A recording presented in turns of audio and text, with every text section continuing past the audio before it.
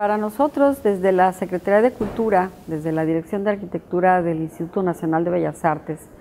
es muy gratificante la respuesta que tuvimos. La respuesta a esta convocatoria abierta por la que apostamos, por la que nos fuimos, de resultado de atender el llamado de Alejandro Aravena. Y la verdad, este, esta diversidad de arquitectos y no arquitectos de comunidades que recibimos de varios estados es, fue muy buena fue muy bueno y sobre todo el verlos aquí juntos a todos es, nos da muchísimo gusto. Para la Secretaría de Cultura y para el Instituto Nacional de Bellas Artes como parte de la Secretaría de Cultura, eh, es muy importante participar en este tipo de, de eventos internacionales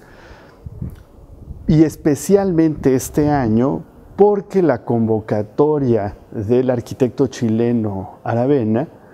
implicaba, eh, bueno, hacer una revisión histórica, por un lado, y hacer un, llamémosle, corte de caja de lo que estaba pasando, de lo que está pasando con la arquitectura apropiable, participativa, eh, en México el día de hoy. Esta selección muestra un mosaico de diferentes propuestas que vienen de todas partes de la República, de muchos estados de la República, de gente que se ha comprometido con las comunidades, con la gente y que a través de la arquitectura está intentando mejorar las condiciones de las viviendas, las condiciones de las construcciones, las condiciones arquitectónicas de esos edificios. Hubo una preocupación del Estado por dotar a esas capas involucradas en la contienda armada de vivienda, de escuelas y de hospitales.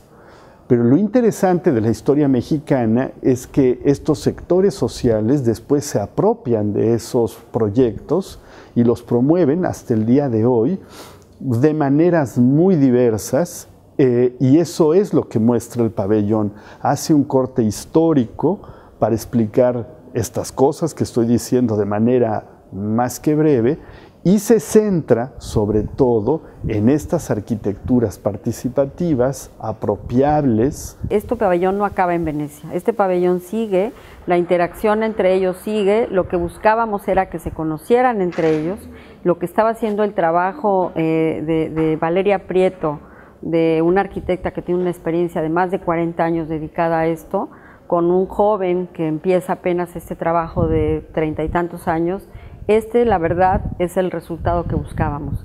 Va a tener una trascendencia importante en México, porque vamos seguramente a través de esta exposición, que desde luego es una vitrina internacional de las más importantes en el mundo, probablemente la vitrina del mundo de la arquitectura más importante, va a dar una, digamos, de alguna manera va a llamar la atención sobre este tema y en realidad las propuestas son una invitación para que los jóvenes arquitectos empiecen a trabajar de manera más intensa y más comprometida en estos temas. Así como fue también la apertura de, la versatilidad del llamado de la convocatoria abierta, eh, la producción también fue de manera integral y diversa. Los diseñadores industriales que forman el equipo de TUX, más los arquitectos que forman parte del equipo de producción de la Dirección de Arquitectura, más el comité técnico que está integrado por arquitectos destacados como Javier Sánchez, Juan José Cochen, Ernesto Alba, desde luego los funcionarios del, Instituto Nacional de Bellas Artes, como es el doctor Javier Guzmán, la misma directora general Maraki, quien ha sido la más entusiasta en impulsar este proyecto. Yo creo que estamos muy contentos con el resultado. Con una aportación conjunta en la que arquitectos y comunidades, no es el arquitecto que va a diseñar algo desde su despacho, sin tomar en cuenta las necesidades, sino es una forma de colaboración que puede dar frutos muy, muy positivos. El significado de este pabellón que resguardó dentro del mismo contenedor los objetos que se exhibieron, yo creo que es parte de este mensaje, ¿no? de este mensaje que es el pabellón eh, inclusivo que se muestra de alguna manera los objetos integrados al mismo material de traslado, y verlos ahora exhibidos, tanto la parte tecnológica como son las, eh, las pantallas, las eh, impresiones de gran formato, todos los objetos se trajeron en el mismo contenedor. y yo creo que eso es parte del atractivo de este pabellón también.